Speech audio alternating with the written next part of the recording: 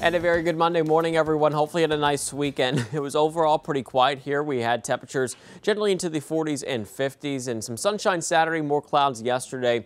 Once again, expecting more sunshine to return for today. Will be pretty mild. Temperatures getting back up into the lower 50s. Usually for this time of year, we're into the upper 30s, so still well above average. A little bit of a breeze with a west wind, and it will stay pretty windy and breezy for tonight. We'll have that west wind still around 5 to 15 miles per hour.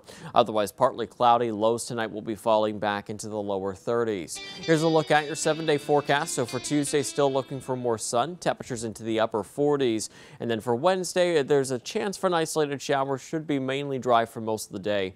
And still looking for the clouds to kind of win out. Temperatures still very mild, though, upper 50s to right around 60. Still, once again, mild for Thursday. We'll have a better chance for some scattered showers. And even some of those showers will continue into Friday. It will be cooler behind the front into the upper 40s. And then for Saturday, we're into the upper 30s.